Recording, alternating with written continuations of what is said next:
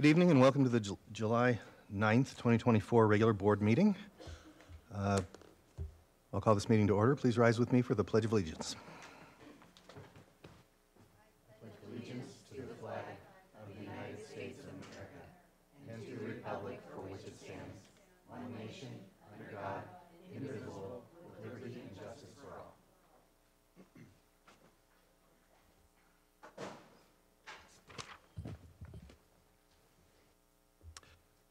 Thank you. Director Bocanegra has our land acknowledgement.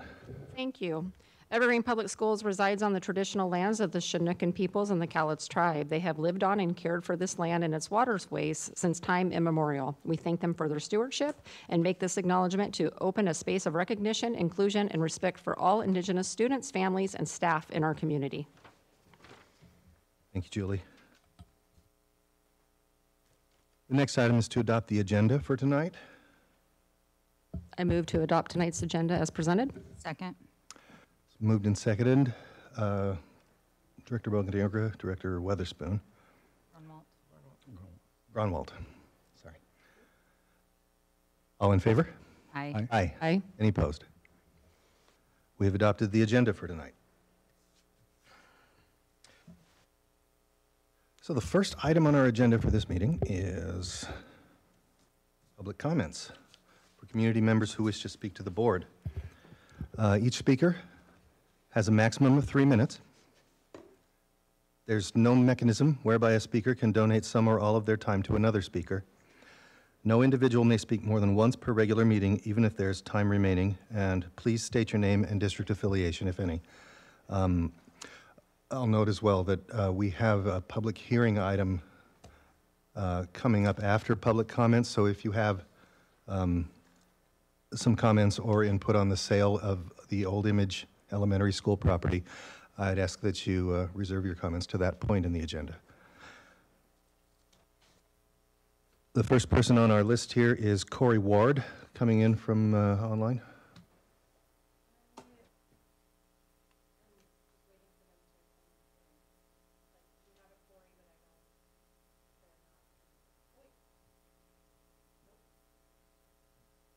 Okay, I'll make sure to get back to that. Okay. Corey Ward, are you here?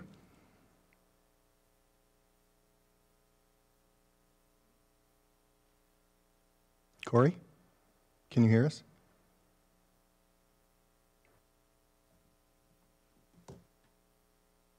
I'm here. Hi, Corey, welcome. Hi.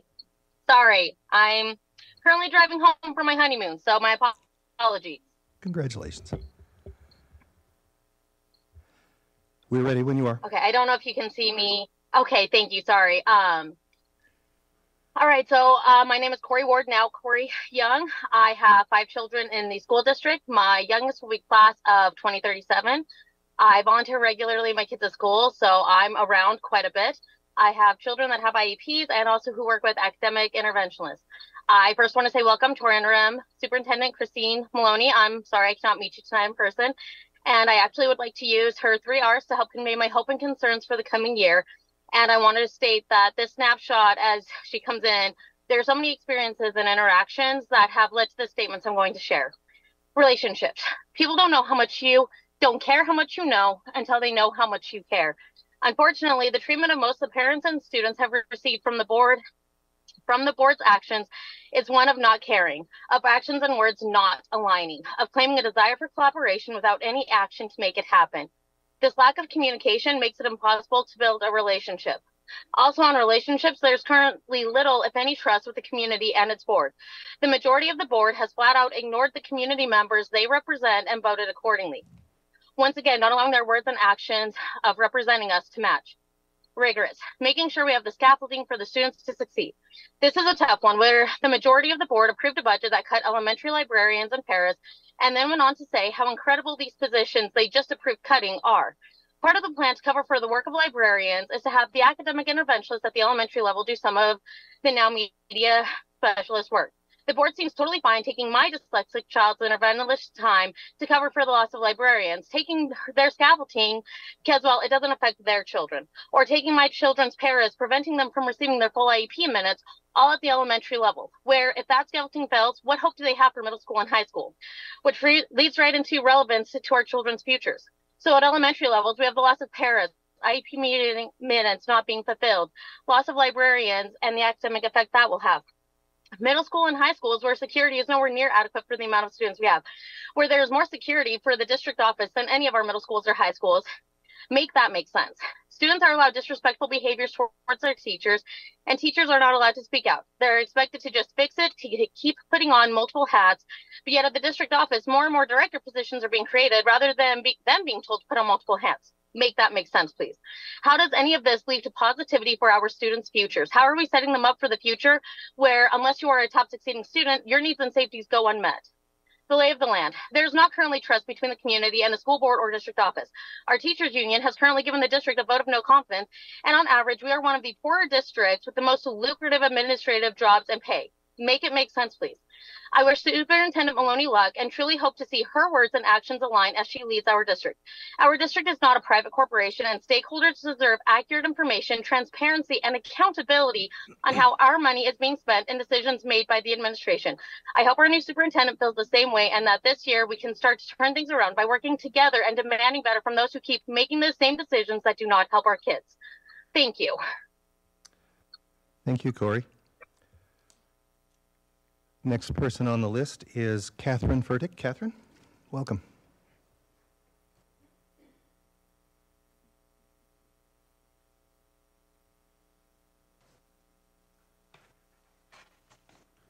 Good evening. My name is Catherine Furtick. I have three graduates from EPS and a current student. It is crucial to collaborate with this community, your community, so we can advocate more effectively for, with our legislature for adequate funding for our schools. We are heading into election season again, and while there are many issues within our district's leadership needing attention, we recognize that there's a huge disparity between what our state provides and what our students desperately need, needs which have grown exponentially since 2020. We can be your greatest asset for positive change if you allow us to be. We are eager to see this change come to fruition by working with you and our new superintendent, welcome. Talk about hitting the ground running. I want to again encourage our leadership to visit the classrooms and see the teaching and learning conditions of our schools. We have so many great staff and students, but the reality of the struggles they face daily needs to be seen and acknowledged. As I sat in on an SIP meeting of several principals discussing their school's year end progress reports, a board member acknowledged how much gets handed to our school staff and leadership that they are expected to just manage despite how challenging. I appreciated this candor. Collaboration in this aspect also, I believe, would be beneficial to everyone. I would love to see more of a let's figure out how to manage this together approach rather than what often appears as you're on your own, good luck, Godspeed, and by the way, you need to increase your numbers. Speaking of you're on your own, we'd like to ask what progress leadership has made towards mitigating our elementary librarian loss. Teacher planning time is one of the many fallouts from these cuts. We need a plan that preserves academic consistency for students district-wide, not just a school-by-school approach. It is crucial to provide educational equity which already took a hit with the loss of teacher librarians. We last heard of paras mentioned as a stopgap, also hints of interventionists and such. These are all support staff.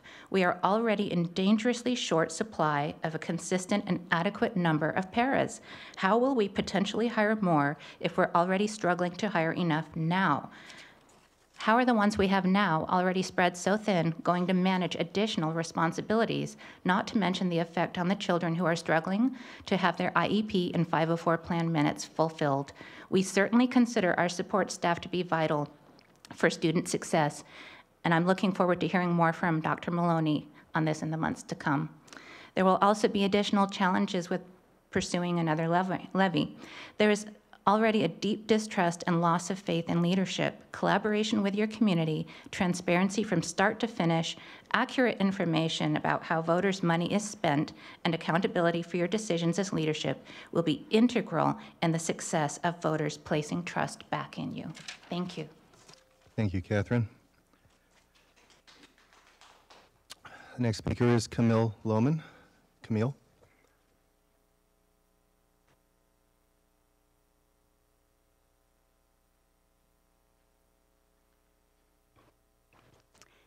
Hi, my name is Camille. I'm a mother of a soon to be first grader. I'm also a co founder of a nonprofit that fiercely advocates for K 12 communities in various ways, but began by empowering individual voices of a community to unite together for what's in the best interest of students.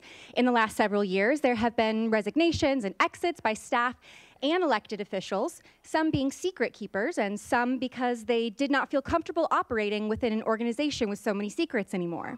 The people of this state do not yield their sovereignty to the agencies that serve them. The people in delegating authority do not give their public servants the right to decide what is good for the people to know and what is not good for them to know. The people insist on remaining informed so that they may retain control over the instruments that they have created. This is found several times in RCW Chapter 42 related to uh, the Open Public Meeting Act in 4230010 and also public records requests 42.50.030. Legislative findings in 2014 concluded that the rights of the citizens to observe the actions of their public officials and to have timely access to public records are the underpinnings of democracy and essential for meaningful citizen participation. The legislature also found that implementing improvements in public service will in turn enhance public trust and result in significant cost savings. Knowledge is power, and when information is withheld or manipulated, or when there is a lack of accessible information, it naturally leads to assumptions being made to fill in all the gaps, some being rumors and some not. But it fosters an environment where confusion, skepticism, fear, and mistrust flourishes, but like a weed, to the point where even when business is conducted properly and is in accordance with all the acts, laws, RCWs, there is still looming suspicion. And even when honest makes, uh, mistakes occur due to human error, there is little room for grace or understanding, which is valid due to the extensive history of secrecy. And it still feels like public comment section of board meetings is just screaming into the void without an echo back, even within three to five business days. Voices that insist on remaining informed are not the enemy. There is significant value in admitting when you don't have all the answers and communicating expectations in order to cut off the food supply to the weed of mistrust so that something healthy, rather than destructive, has a chance to grow. But it takes more than killing a weed for growth to occur. We need soil, water, but we especially need sunshine, the law, to shine light to ensure accountability and promote transparency, effectively decreasing confusion and fear and growing trust. Thank you for your comments. Angie Bunda.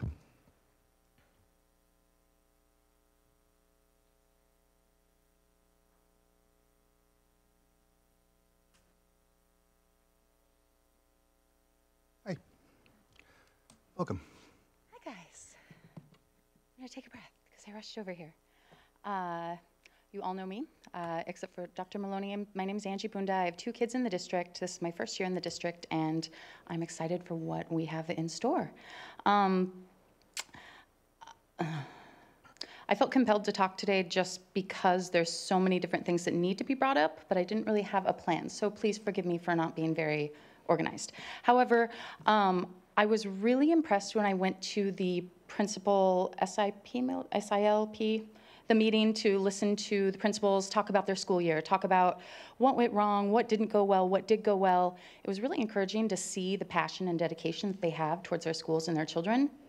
And one thing that was mentioned was the strategic plan and how we had worked really hard this year on implementing the first two parts of the strategic plan teaching and learning and school environment. And we had seen benefits from that. And that um, we are now hoping as a community that we can start implementing the second parts of the strategic plan family and community and employee engagement. And I'm not just saying make it happen or else I'll yell at you. I have ideas. Yeah. So, as far as ideas, with family and community, we're still asking for the same things. We're still hoping for the same things. We would love to see similar things to what Dr. Armstrong implemented at PPS with her PACE program that has different forums for um, policies, for for SPED, for all sorts of different things where the board and the community can engage together. You can you can pass ideas to each other, and there's open communications, uh, as well as having a suggestion that I gave you guys for maybe doing a workshop after your meetings that could include like a town hall where it's like a you're already gathered. You don't have to have another meeting. You don't have to pay for another thing. Um, where you can talk to the community afterwards, and I think people would really appreciate the opportunity, and I think that they would really surprise you, um, just with the option of being able to speak to someone. Uh, as far as employee engagement, I will send you all an email since I'm running out of time, but I feel that it says we will encourage all of our staff to share their opinions, experiences, and expertise to inform any decision that impacts them and their students. When I read this, it hit me like a ton of bricks that this is literally the opposite of our staff expression policy 5254 which states any anything that an employee says inside or outside of work that could be uh, constructed as negative or have an adverse uh, adverse impact on so district operations may result in disciplinary disciplinary action including termination so you're telling people that your pillar foundation that you believe in upmost is to allow them to speak, but this policy says anything that they say that the district decides is negative, they could be fired. We need to talk more about that, and I'm happy to do that with you. Thank you. Thank you, Angie. Phil Cronebush. Cronebush? Yeah, either way. If we're not sure anyways, the family doesn't know. Phil Cromish, um, stakeholder here in uh, Orchard Sifton and uh, grandfather of a couple of children here in, in the district. Um, basically, I have three items this evening, just real simple. The first is I, I realized that we've spoken, uh, the board has talked a lot ab- about, or people have come up and talked about a cell phone policy, um, a no cell phone policy. And I think it's a win. I think it's a win-win, simple situation. I know, you know, it might take a little bit of time to implement it, to, but the the policy that that some teachers came up, I believe it was from Evergreen, and, and spoke of, it was a wonderful policy. It sounded really well. I think you could implement it, do it. Um, it'd be a great win before the start of school, set up for what, what we really need. We need to help the teachers. If the teacher's are asking for that help, let's do it. It's not a money issue. It's just a simple policy change. Talk about it, implement it. We could do this over the summer, and, and let's go forward and help the kids. Let's take the distractions away. I think everybody wants that, parents and also the teachers. The second item uh, I wanted to talk about was the youth truth. Uh, you just heard a couple uh, statements about it. It's $68,000. We are talking two paras or, or most of a librarian that, that we just got done laying off. This is not the time. This is inappropriate. This is, this is, this is irresponsible of the board to, I know it's coming up on the consent agenda, to allow that, that expense. That we have, there's a cost benefit here that is just not, that cost benefit, just, you need to talk about that, that before, you need to be transparent to, about the community, about what Youth Truth is all about. A lot of the youth, the community and the parents do not understand that there are gender identity questions on, on the survey. They don't, many of them don't even know their children are being asked this question the, again, here's the, the transparency piece that so many parents and, and, and, teachers have been talking about. No transparency about what's going on. Um, the third thing is, is, is uh, again, a, a budgetary thing. Uh, the EV buses. Um, really, it's too long range. I mean, this is, this is a wish. I, I, I know it's not our job really to, to change the climate. Our job and our focus and our priority should be academics. Um, our OSPI numbers are in the tank. We don't have time to be worrying about that. That's a long range problem. We got to, we have to conserve our, our teachers and our resources and not worry and take, not take focus off the things that are really important, and that's our kids. So I just want you all to consider that, especially the, the, uh, the uh, coming up here, the Youth Truth Survey piece, as it comes up, if it does in the consent agenda. Thank you very much. Thank you, Phil. Thank you for your comments. Okay, I'll uh, That's all the people who were on the list. I'll go ahead and close the public comment section. Uh, The next item on the agenda is a public hearing for the public to comment on the sale of the Old Image Elementary School property. Are there any members of the uh, audience here or online who have a statement about uh, the decision to sell that property?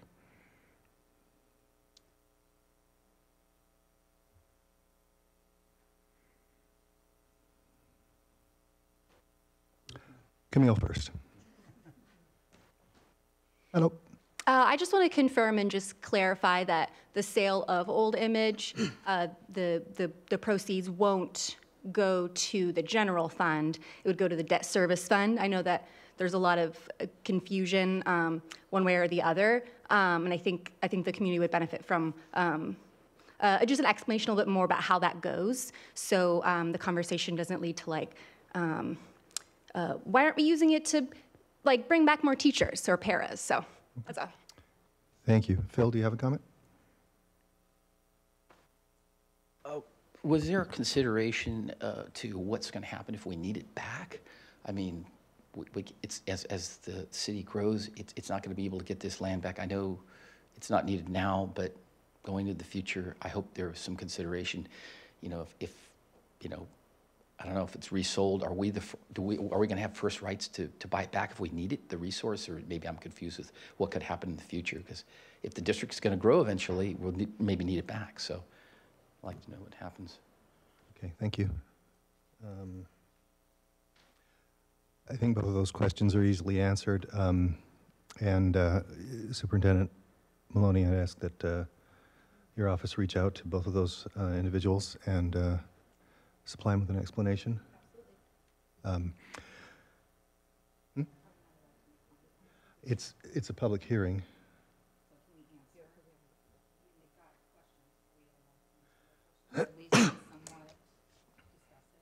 If that's all right. Okay, yeah, we'll open a discussion on the matter now. Okay, sorry. Um, Just wanted to make a, just a few comments to Phil's, or uh, responses to Phil's comments. Um, A portion of the image property actually belongs to SEH. They were lending it to us. Um, That building itself was one of our first that we rebuilt because it's, the infrastructure is not good. Um, They actually have to shovel snow off the, s- the roof every year. Um, we actually have other properties around the city that don't have anything on them that we own, so there are other places that we could build. But to be able to make that property to a point that we could actually continue to use it, it would just cost us too much money. And it's always kind of been the plan with SEH on this property. Sorry, that's all I wanted to say Thanks. on that. Uh, With respect to the, uh, um, the disposition of the funds from the sale of the property, my understanding is that it'll be deposited into the Capital Improvements Fund. I'm seeing nods from the facilities and financial experts in the audience here, uh, and from the up. superintendent, uh, because the law states that um, those funds can only be used for buildings or other capital improvements. Um, It's a very common question that, uh, that people ask because of, of the misunderstanding uh, sometimes that Camille raised. Um, And we want to be clear about that, too. Uh, That if we could, I think we'd be uh, a little more creative about it, but it's, it's an unfortunate truth. Any other comments? No further action is required at this time, so I'll close the public hearing for public comment on the sale of Old Image Elementary School. And we'll move on to um, the next item on our agenda, the board consent agenda. Move to approve the board's consent agenda as presented. Second. It's been moved and seconded, Gronwoldt and Wilson. Uh, All in favor? Aye. Any opposed? Motion carries unanimously.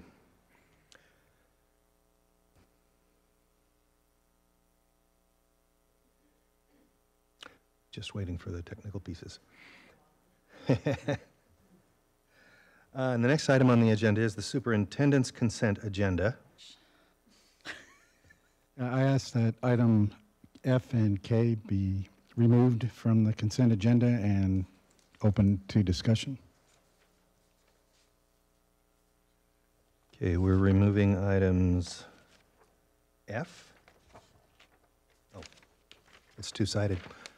Uh, The agreement between Evergreen Public Schools and Center for Effective Philanthropy, and K, the Washington Interscholastic Activities Association schools approved for membership items, um, which we'll uh, dispose of after we vote on the remainder of the consent agenda. Do I have a motion to approve? Um, Perhaps you can make that motion, Gary. Yeah. I motion that we approve the um, superintendent consent agenda, excluding those two items at this point. Seconded. It's been moved and seconded, Wilson and um, Weatherspoon. Uh, All in favor? Aye. Any opposed? Motion carries. Okay, with respect to item F, the agreement between Evergreen Public Schools and the Center for Effective Philanthropy, um, discussion and action will require a motion. I move for approval of item F. Um, oh, Second. Okay, um, moved and seconded to approve item F. Is there any discussion? Yeah, um, item F is a three-year contract for the Youth Truth Survey. And in January, we um, had this past year's Youth Truth Survey, and we had parental and teacher concerns about four optional questions. And one question was asked of elementary school children, the uh, three questions were asked of middle school children. Um, I reviewed those questions at our April board workshop, and I asked who decides whether these optional questions are asked, and our then um, Superintendent John Boyd said the district decides. And I didn't ask further about, you know, who within the district, and I probably should have at that time, but it appears maybe at, th- is this the point in time since we're approving this? And it has um, like a cost for the basic survey, and then there's some additional components where I believe these additional questions are added in.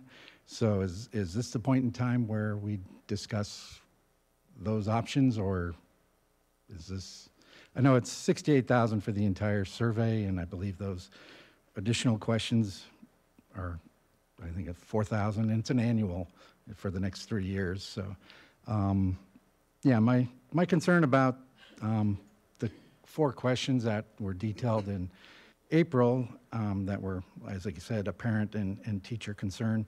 Um, one concern are children like my youngest daughter, who is on the autism spectrum, and autism children are much more impressionable, and autistic children are, are particularly vulnerable group when and at higher risk of social manipulation.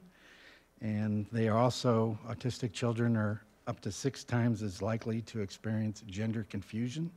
So I always want to err on the side of caution when exposing children to concepts that may not be age appropriate based on their development of the child. And I don't think anyone can tell me that for all the children that are asked these questions of, that development, developmentally, they are appropriate for all of them. And I know Youth Truth Survey has, in varying forms, benefits, and I don't have all the answers, but I do have some concerns.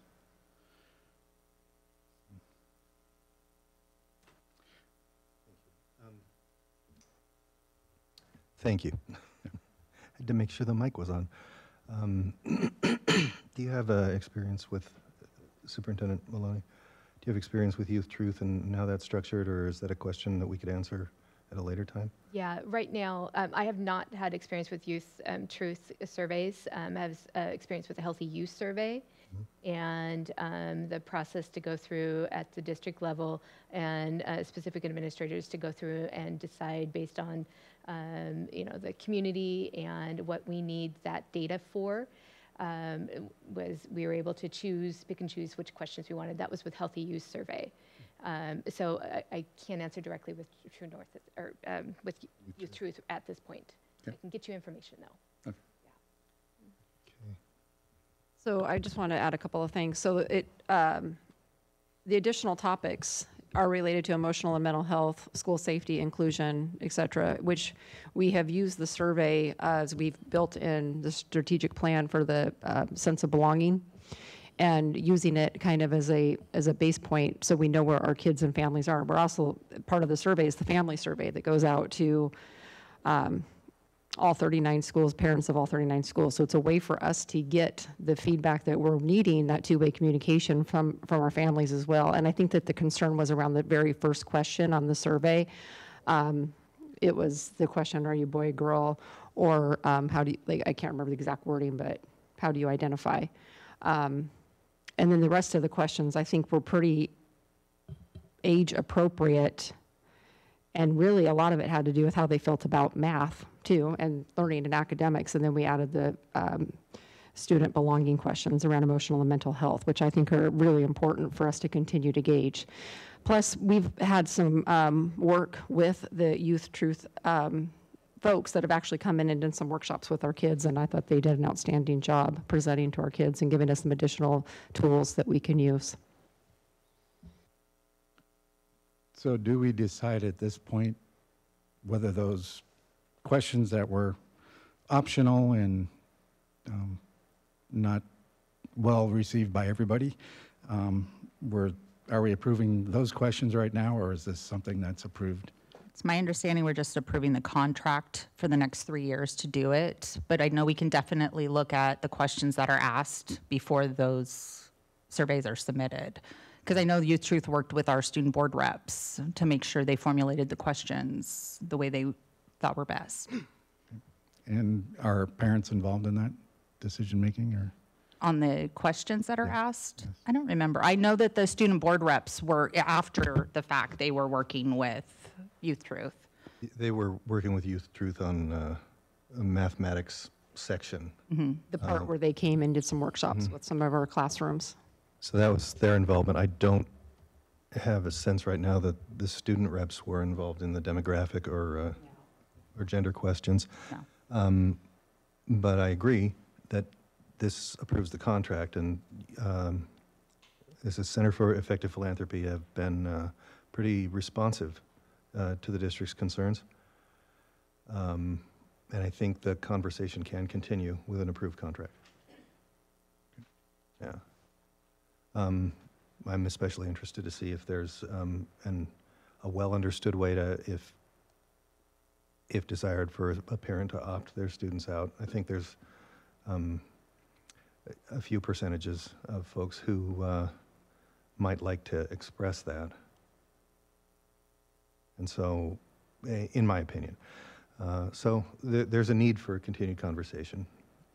And I understand it's, you know, a sensitive topic, and it does have value in its varying forms. uh, And, yeah, it's, I don't, again, I don't have all the answers, but um, if approving this is possibly approving those four questions down the road, I'd probably then choose to abstain at this point. I don't know. Um, I doubt, uh, I doubt that a vendor like this would not be responsive uh, to uh, the district's direction. Um, We know that Youth Truth is also, it starts in like the third grade, and that there are uh, several schools uh, who've piloted their own Youth Truth-ish uh, age-appropriate questions for K through two. Uh, And there's certainly, it certainly builds a sense for me that uh, that kind of conversation can continue to happen and uh, um, continue to include those who have a concern. Yeah. Based on what I see here, it's really about who's being surveyed, how much the unit price is per those surveys, and what the additional topics are, which are around emotional and mental health, school safety, and inclusion. It doesn't say anything about which questions we're going to ask. And so I'm sure that uh, Tilly Meyer and her team can probably work with the folks at Youth Truth. Um, And we can always revisit later on all of the questions and take a, take a peek at them. Any other comments? Hearing none, we'll uh, go ahead and take a vote on approving the agreement between Evergreen Public Schools and Center for Effective Philanthropy, Youth Truth, read the Student and Family Survey school year, uh, the upcoming school year and the, uh, uh, in the, in the subsequent two years, uh, the three years total. All in favor? Aye. Aye. Are there any opposed? Abstain? We have four in favor with one abstention, and the motion carries. The next item is uh, item K, resolution number 6949, uh, WIAA, A, schools approved for membership. Um, Is there a motion? I move to approve item number K off of the superintendent's consent agenda for the WIAA resolution. Second. It's been moved and seconded, Gronwoldt and Bocanegra. Is there any discussion? Yeah, I, I was going to bring up um, the Washington Interscholastic Activities Association, WIAA, um, allows biological males to compete against biological girls. Um, they do not require biological male high school athletes to take part in hormone treatments to play and compete in biological girl sports, and I, this creates an unfair and unsafe playing field. Um, six weeks ago, a biological male won the Washington State WIAA girls 400 meter dash. Uh, this agreement with WIAA under the current rules puts Evergreen School District's girls at a physical disadvantage and in potential physical damage, uh, danger. Excuse me. I don't know the answer. However, the Kennewick School Board signed a resolution affirming that biological males should not participate in biological female sports. Um, we're running biological women out of women's sports when we allow biological males to compete against them. So again, I don't have all the answers, but I have a concern there. So Thank you, Gary. Any other comments?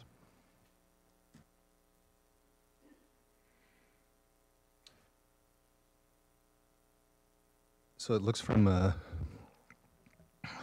it, it- looks from the resolution form that they sent that uh, the president and superintendent must sign this resolution form to indicate that the school board has approved the public school district's uh, membership with WIAA, and as members, these schools will follow the rule- rules and regulations. Um, In the absence of that, what happens to sports? We don't play in the league. That's what happens. And our kids won't get opportunities to participate. So this seems like uh, something that we really should approve. Um, My, uh, I guess my second question is, I thought it was a matter of law uh, with gender expression and so forth, and as interpreted by OSPI and, uh, and some other state agencies, um, that we don't have control over that part. Th- That is correct. Okay. Um, And based on that, we should approve this. There are opportunities for school board directors to have voice in WIAA, so that might be something, Gary, that you might want to pursue. appreciate that. Any other comments? Nothing, Jean? No. Hearing none, we'll take a vote. All those in favor? Aye. Aye. Any opposed? Um, abstain again. Okay. Four in favor, one abstention, and the motion carries.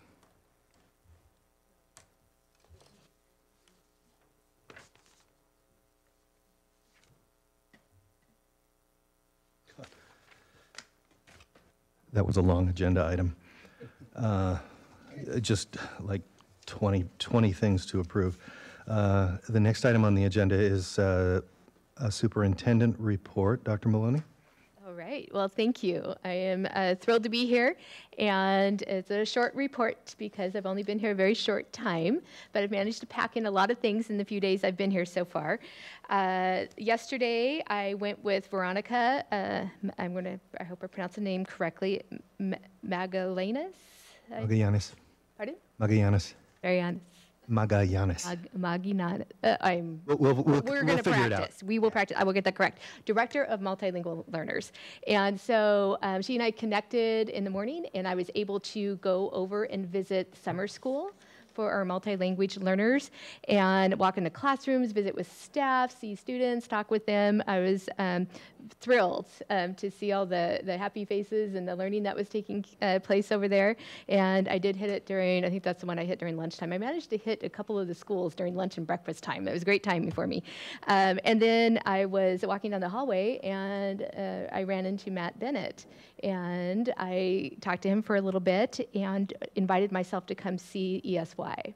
And so this morning I visited, um, I think we hit every single classroom, teachers, paras, and said hello, talked with students, met Greg the Sloth. Uh, that was a little stuffed animal that one of our students had over there, and um, had a great time. So I really enjoyed getting to know people and learning people's names and chatting with them for a little while. So that was exciting to see. Tomorrow I'm going to go see Archway. Got some other things lined up as well. So uh, Lori has been great helping me schedule meeting times with lots of different people from around the district, and we're starting to schedule different things. I am looking forward to meeting and learning um, about everyone and the district, and so that we can move forward together. So it's been busy, and it will continue to be busy, but it's great work. So thank you. Thank you, Dr. Maloney. The next item on the agenda is a presentation by our uh, Chief Financial Officer, Jennifer Jacobson, about the 2025 levy.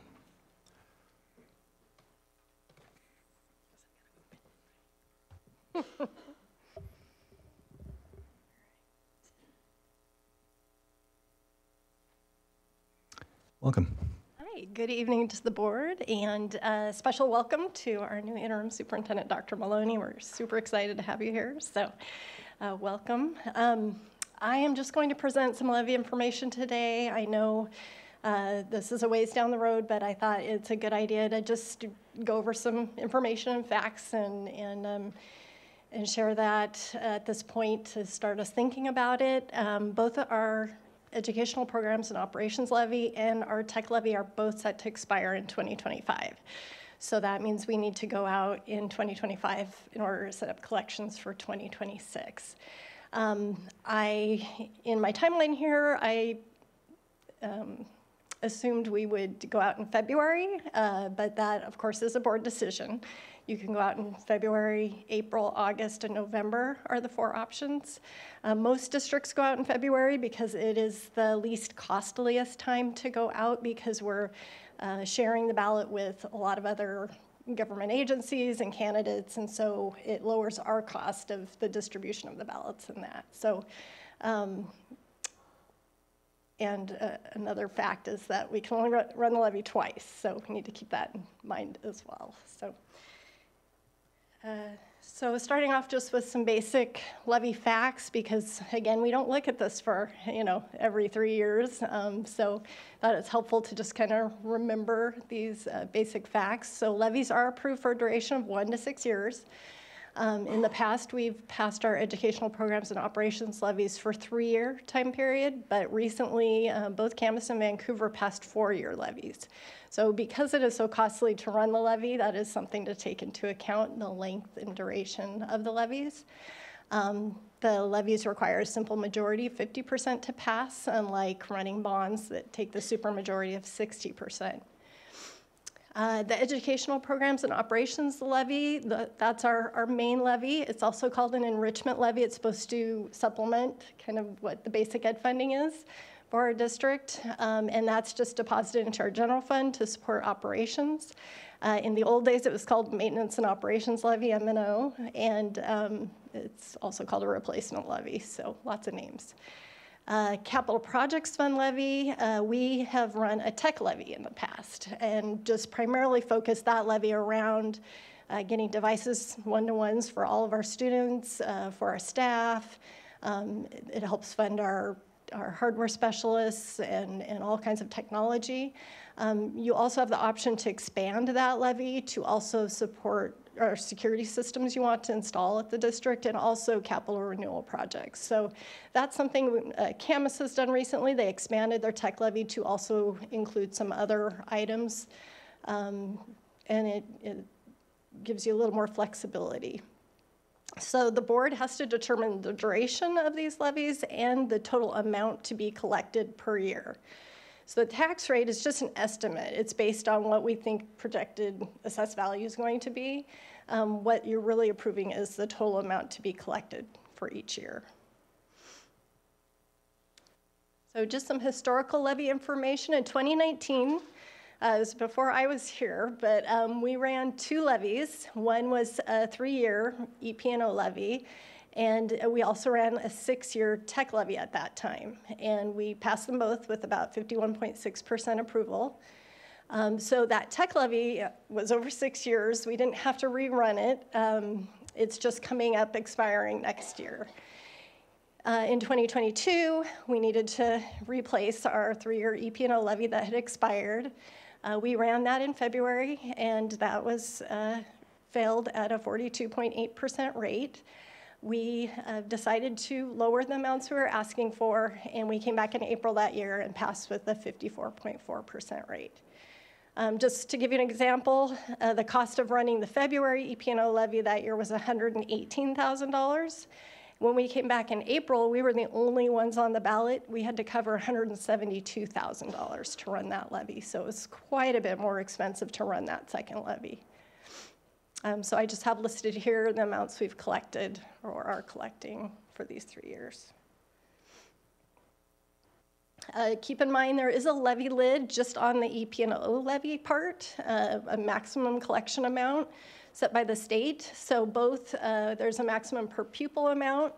Uh, for 2024, it's 3150 per pupil, and Evergreen's at 2031 currently this year.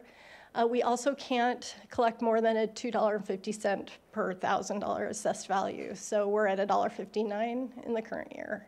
So there's, we're quite far below the maximum level that we can collect.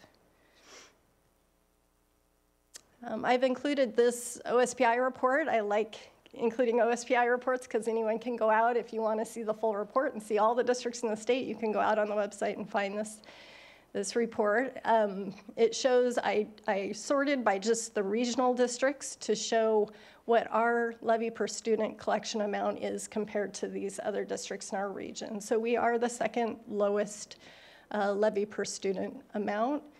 Um, I should point out that uh, OSPI used the greater of 1920 or 2122 FTE students because during COVID we saw such fluctuations in enrollment, and so OSPI started using that instead of just a flat uh, student number. When I did do the calculation with our current student enrollment, it, it bumped it up a little bit because our enrollment has continued to drop. Um, but it's still, we were about $1,900, and so we are still in that second, second place for uh, the lowest. Oh, I should also mention, um, so we do have a tech levy in addition to our EP&O levy. Uh, so do Vancouver, Camas, Washougal, um, and then Battleground just passed a tech levy as well. So the other school districts only have the EP&O levy and do not have a supplemental tech levy to help with those tech expenses. Um, I wanted to pull out Camas and VPS. These are our two neighbors. We're often used with comparisons with Camas and VPS and show both the EP&O levy per student and then that capital levy and where we fall. And you can see over these three years, Evergreen is significantly lower than both Camas and VPS in our collections per student. Um, our capital levy was a little bit higher than Vancouver's, but our EP&O levy continues to be significantly lower than what they're currently collecting. Am I going too fast or? Okay.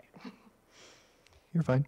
Uh, so here is historical levy information. Um, you can see how our assessed value has really uh, gone through the roof in the last few years. We were at 19 billion in our region in 2020 and uh, we currently are at 20 and $28.5 billion in this region. So you can see the percent increase in our assessed value here. Uh, we had 17.5%, 6.7%, some huge numbers. And uh, so we kind of have to forecast where that's going to be in the future. Um, right now, financial advisors are using 4%. Uh, I did get some preliminary information for 2025, and I think it, it's likely going to be even lower than that. So that is something as we're working through the process we can kind of keep in mind. Um, So you can see the total amount of bond collections and then the tech levy and EP&O levy amounts we've collected over the last few years, and those are the amounts we will set. Um, Our bond rate is, is going down, and so part of our strategy is whether we want to keep consistent rates, keep our total tax rate at a certain amount, um, how we want to structure this. So back in 2022, we were at 379. We promised the voters it would stay under 379, and we have kept it at 357 for the last three years in a row. So, so some considerations as we're moving forward. Um, whether we want to maintain running two separate levies, uh, the EP&O levy and the Tech uh, Capital Projects Fund levy, or whether we want to combine it into just one levy. If we think we have a better shot at passing one levy versus two, um, there's all of those considerations to take into account. Uh, one thing to to think about though is if we were to combine those two, um, we would start seeing that levy lid. We would start climbing up to it, and that might be a limiting factor in our total collections. Um, we also have more flexibility with that capital projects fund levy. As our bond projects are finishing up, it would be helpful to have some capital renewal, um, you know, supported by having this additional capital projects fund levy. Um, and then there's always some risk of running the two levies versus one. And so I have uh, some information I can share at a later date when we're in a board work session that DA Davidson put together about what the percentages are if you're running, you know, one levy versus two, if it helps to run them together, or uh, which it does. I think if you ran a capital projects levy on its own right now, it has an 82% chance of passing, but if you run it with an EP&O levy, it's, I think, 89% chance of passing. So um, it does appear to be helpful to run the two together. Uh, another consideration is determining the duration of the levy. If you want to continue with the three-year levy, um, if we want to do the tech levy at six years like we have in the past, uh, that's another consideration. And then, of course, the amounts of the levy. So lastly, uh, the timeline. So now I'm just sharing information so that you can start thinking about this. Um, in August or September, we'll have a workshop so we can kind of discuss more options and, and different amounts and types of levies. Um, and then in October and November, we'll need to pass a levy resolution to uh, approve the amount uh, we'd like to collect. And in November, I will submit a pre-ballot approval form to OSPI. And then our filing deadline with the county is December 13th. Um, and that is all for the February 11th election day. So that's kind of working backwards from that day. Um, and that's uh, really all I had to share. So do you have any questions or? It's a lot of information. well, I know um, February of 2022, the levy failed by a little over 3,600 votes, and then April of 2022, it passed by over 2,700 votes. So there's a 6,400 vote almost swing there. And realizing, you know, with the bitter teacher strike and, you know, the recent vote of no confidence from the teachers union, it's going to make it challenging this time around uh, for those reasons. And added on to that, I didn't think of this back last in March when we were going through the budget, but, um, you know, eliminating all the elementary librarians, that's going to be another um, hard hurdle, I think, for getting, uh, and I know we were, back then, Rob, you said we were at step N in March on the budget process, and at this point, I'm sure we're probably step X, probably, because the first readings next probably our next board meeting. Yep. The board is due to the ESD 112 tomorrow, and then we'll go through that with them. Sometimes we have revisions to make. Um, It'll be publicly available the next week, um, and then at the next board meeting, I'll present. Yeah, the first budget, reading and then second reading, the last board meeting in August. so, Yep. um, I don't know if there's any way to adjust anything with the budget there for elementary librarians, but I know, I, I'm afraid it could be a, a stumbling point. So, just in reality. Uh, It's five weeks away. Uh, The first reading is the August 13th meeting. So there's there's a lot of time. Julie, did you have a comment? Yeah, I just wanted to say a couple things about the levy, and um, to Gary's point about the uh, February failure to the April, I don't think we did a a lot of um, work and communication around that first one, where where we should have been out telling our story, um, talking to our community about the importance of the levy, and I think that we have learned um, from that experience that we need to have the information early. That's why Jennifer's presenting to us tonight, so we can start thinking about our, what we need to do. Um, I also think that, you know, as we consider our levy proposals and the timelines and do we combine them, we have to think about, and I think this board has always made a priority to try to keep the tax levy rate down. And um, I think that's important to us. That's, I think we knew that coming into the year where the bond rate went lower, that we would be in a good place. And so we could show our citizens that we're being responsible and not trying to raise taxes. Um, So we have a lot of education to do and a lot of communicate, a lot of communicating, and I think it's really important that we're starting now and that we're getting the information so we can start thinking about how we want to um, put this on the ballot when we decide to do it, and then um, how we move forward in our efforts from there. Thank you. Um, a, uh, a lot of questions, and this goes back to years and years before I was on the board, uh, have to do with uh, people would ask me, "What do you do with the money?" Uh, and the answer, uh, "It's deposited into the general fund," is not always uh, terribly satisfactory. But I did want to make sure and confirm with you that EP&O levy dollars are deposited into the local sub-fund uh, and that the reporting uh, can show the spending out of the local sub-fund as disaggregated from the spending out of the rest of the general fund. That's correct. Okay. They changed that accounting about four years ago, Yeah, it came with, uh, specifically. came with the McCleary fix or the legislation before that, right?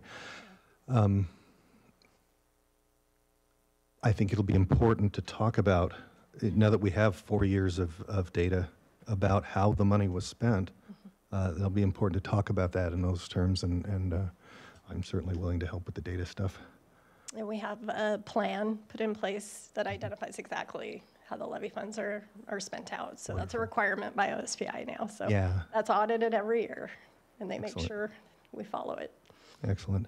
Yeah, I would um, definitely get that communicated to the public, because I know on the budget survey, there were a number of comments stating about, um, you know, you, we worked to pass the levy, and the dollars that were supposed to go to things are being cut from those levy dollars, so, um, and I think there were a few comments like that actually on the superintendent search um, survey. Um, So I think the community needs to be better communicated with as far as, you know, where these levy dollars are going, and here's where these levy dollars in the past, where they were gonna go, and here's where they went, and, because there maybe is some miscommunication there, maybe, I don't know. Um, I- I just going from what people answer in the survey, so. It's uh, around 13.5% of the total budget, uh, at least the 2025 projections. Contradict me if I'm wrong about that, but it's a big deal. If you combine tech levy and, Oh, Oh, it's You know. 447.8, over 400 million is, is, it's a big deal. And the loss of that source of fund, funding is uh, going to make the last three years of budget cuts look easy. So there's a lot of talking to do and a, a lot of persuading, and a lot of information sharing. Thank you for your uh, presentation. Thanks.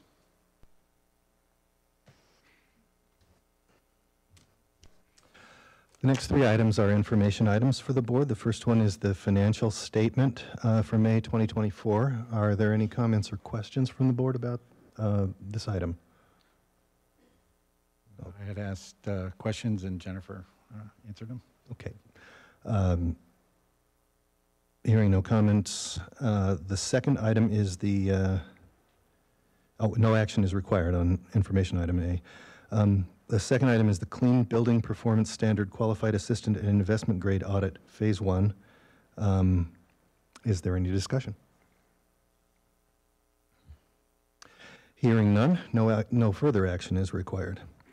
The third one is the school bus fleet electrification plan. Um, Is there any discussion? Yeah, I've got to, wrote down, jotted down a few things. Um, You know, it says in there that it's in line with the state's decarbonization goals. Um, This is, this has already been approved, is that my understanding? Because I, I didn't know if we were approving this. It's a $134, or $134,000 feasibility study for, um, I think it was Senate Bill 5431 that's under consideration that effective, if it passes, which we don't know if it will or not, but it would, starting in 2035, so over 10 years from now, we would, every bus that we purchase would have to be in electronic uh, EV. And I'll, I'll let you go from here, Nicole. So, And Uh, Rob, if you have any. welcome, Nicole. Uh, No, I just, I just wanted to say that my information was is that the board approved the spending last August uh, on the August 18th meeting. Is that correct? Yeah. Maybe you could talk a little bit more about, um, uh, we had a discussion, you and I. Yes. And, uh, and talked about it, but there was a law that did pass regarding electrification of the fleet. Um, It, can you talk about that a little bit? Yeah, and, uh, for sure. So the second substitute House Bill 1368 did pass. Um, That went into effect June 6, 2024. Uh, The school district did make comment during legislative session about that particular bill. Um, There were portions of it that were not well-defined. Um, And the school district is absolutely interested in being an environmental steward, but it has to make sense. One of the biggest portions of that particular bill was that it did not consider the total cost of ownership. So while it may be simple to change out an existing school bus for an electric school bus at its regular depreciation schedule, what's not being considered is the total cost of the infrastructure. Mm-hmm. When we have to pay for those stations. Well, when you dive into that, you're looking at what's the electrical load existing at transportation? Do we have enough? We have almost 300 school buses in our fleet. That's just our school buses. We also have a white fleet to consider. And then eventually, I mean, this will expand potentially, right, in the state to our maintenance vehicles, our mowers. I mean, it, it can go well beyond that. So we really needed to get an idea of what is that total cost of ownership? How do we train our maintenance, our mechanics to, to actually maintain these school buses? So that House bill was revised to basically pare it down and investigate that total cost of ownership. They put that task on OSPI in coordination with the Department of Ecology. And so I believe, per that House bill, I believe starting or by November, um, they should be surveying school districts around the state to get an idea of um, the impact, the total cost of ownership, the current, so current emission, zero emission vehicles that school districts have, um, if they're going to be seeking grant funding, how much are they looking at? Are they looking at it just for infrastructure, infrastructure and the buses, et cetera? Um, and then looking at the depreciation schedules and if they have anything in existence in their fleets that was manufactured prior to 2007, why do they still have it? Um, and then they're supposed to then take that, wrap that up pretty little bow and send that back to the legislature so they understand then the funding piece. In the meantime, though, because, so there was that bill and then there was the Senate Bill 5431, which is kind of just sitting right now. Yes. Yeah, so, because once again, we need to understand how much is this going to actually be for school districts? Um, there are currently grant funds through the state and federal grant funds as well for school districts. Um, obviously, the federal stuff is every school district in the United States of America. Um, and of course, you can utilize, I believe you can utilize some of the state funds as matching for that. And there's ways to make it happen. But realistically, at this time, our school district doesn't even understand what it would take to even get to the point to outfit 300 school buses as zero emission vehicles. So all of that to say This particular study is just that starting point. In addition to that, working very closely with Yvonne and Lyndall in transportation, there was a lot of discomfort with even taking a step forward to try it out. We have neighboring school districts that have small, small portions, like six school buses, et cetera.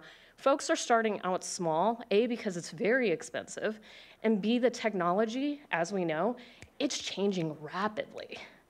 Now I feel there have been, um, the EPA is doing a lot of webinars and stuff, and I mean, they are feeling a lot more confident about pushing stuff out to school districts and helping them understand how this will work. This particular study will look at implementing EV buses, two small buses and two large buses for us, so we can get an idea of what's that like. Is it sustainable for us, um, given our routes, given athletics, given all kinds of other things we need to consider? The cold weather, that needs to be considered as well.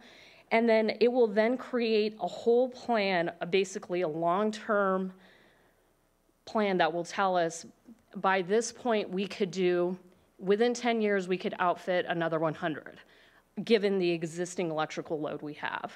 But if we want to go beyond that, we need to invest in a larger transformer at transportation. We then take that information to share that with Clark PUD, and they will then get an understanding not just our district, but they really need to know about all the districts in Clark County. How much is it going to actually take on the grid to make this happen? Are there larger term investments that they need to do to make sure that there's enough electrical load to make this occur? So this plan, this study will help support that, but it's not a deep dive into it because we're, we want to be confident before we step forward and kind of joining in on this journey with other school districts. Yeah, Because it's a big step.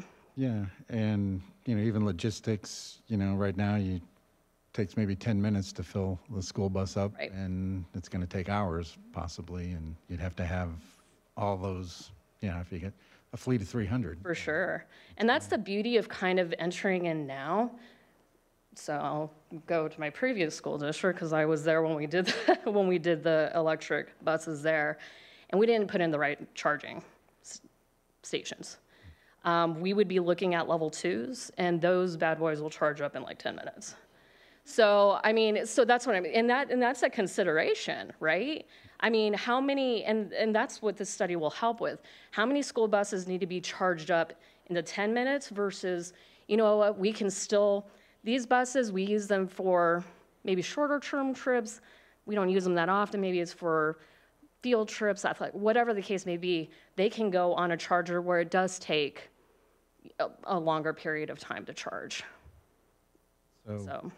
This bill 1368, it's passed. And the backup in the, that uh, attachment talked about the 5431, and it hadn't passed, it was under consideration. Right. But there is, it, I don't think it mentioned 1368, but 1368 did pass. It did pass, um, and it, that passed the House March 5th, passed the Senate March 1st, approved March 28th, um, signed March, or filed and signed by the governor March 29th, and went into effect June 6th. Um, the reason, so because the Senate bill is more of the crux of, after this happens with OSPI, this is how it's gonna go. Once they know that total cost of ownership and they develop basically the funding for that, because that's really what needs to happen, because we're not the only school district vying for the monies, right? Hopefully It's not another unfunded state mandate on Hopefully. education. so. precisely why we testified. Because we have between this and the Clean Building Performance Standard, you're talking about compliance,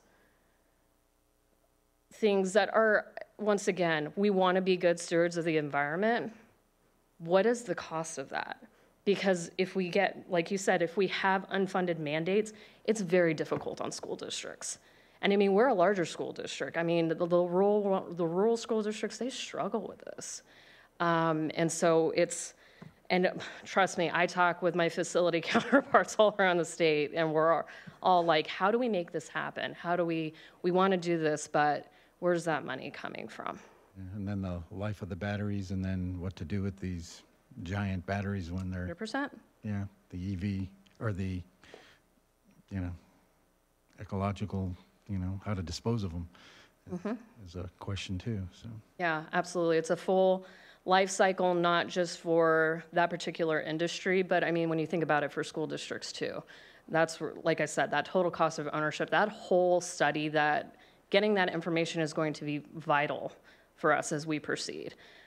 So 1368, is that similar, requiring us to, as of 2035, to all purchase? No, it doesn't have anything. Not yet. Once they, once they do their study, then I think they will take the crux of that Senate bill and really expand and create those new deadlines for school districts. And it will follow, I mean, logically, it's going to follow the regular depreciation of the school buses that's already in existence, but it's just a matter of developing that schedule and seeing what will actually work and be sustainable for school districts long-term. Yeah, and for electrical grids, you know, Absolutely. thanks. You're so welcome. Any other questions? Fabulous. Thank you. Thank you, Nicole. Um, No action is required on this item. And that's the third of the three information items. The next item on the agenda is board comments, comments by uh, the school board. Who would like to start? I don't have anything. Okay.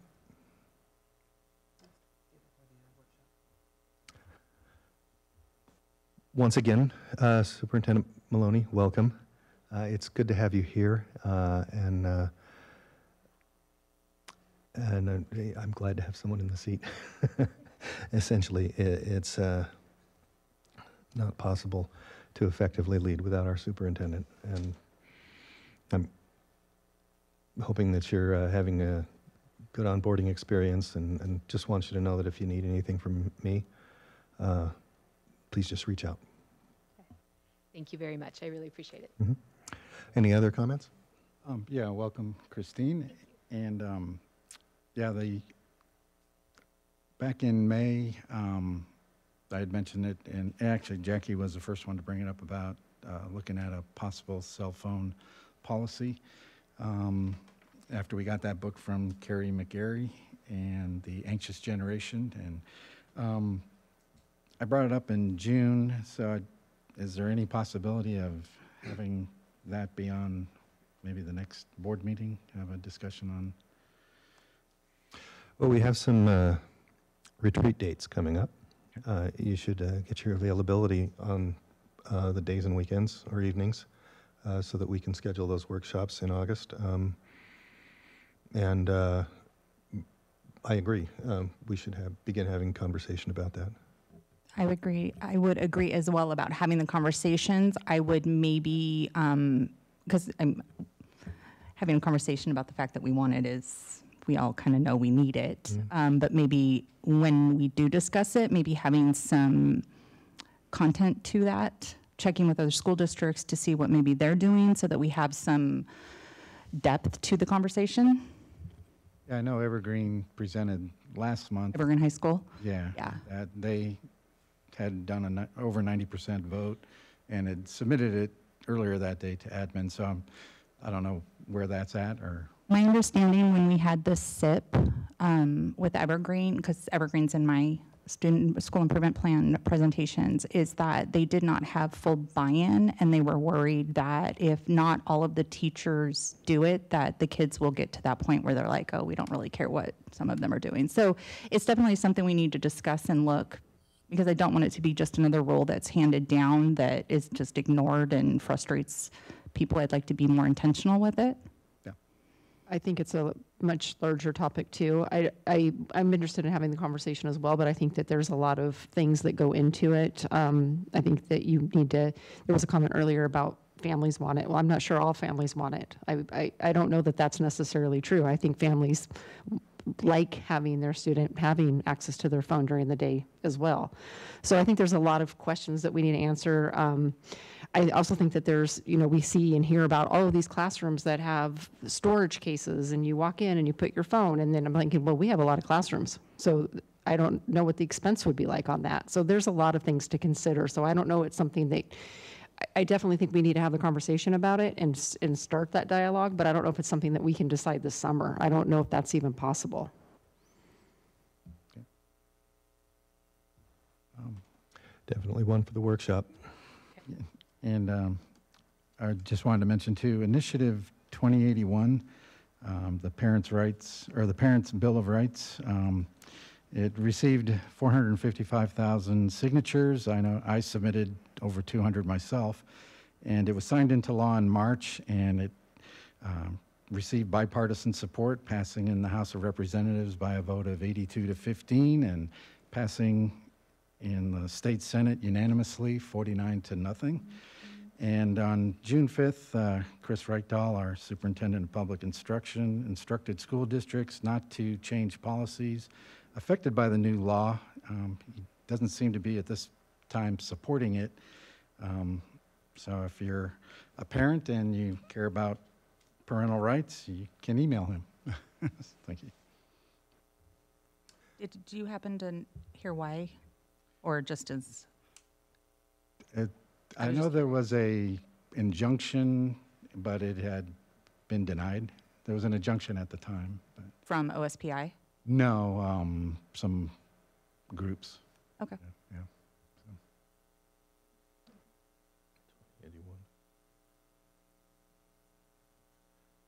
Well, my sense of that was that, uh,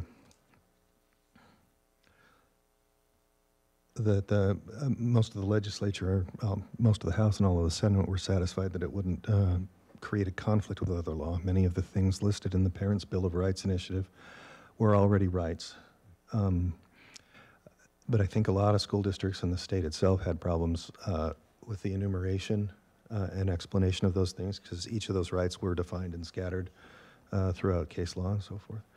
Um, I'd never anticipate that it would change uh, how we should interact with parents when they have concerns, but, um,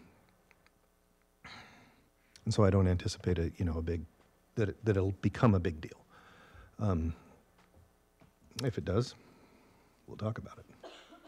Are there any other comments? Hearing none? We'll call this meeting to recess and then reconvene uh, for a board workshop after the board signs some papers. With that, we're in recess.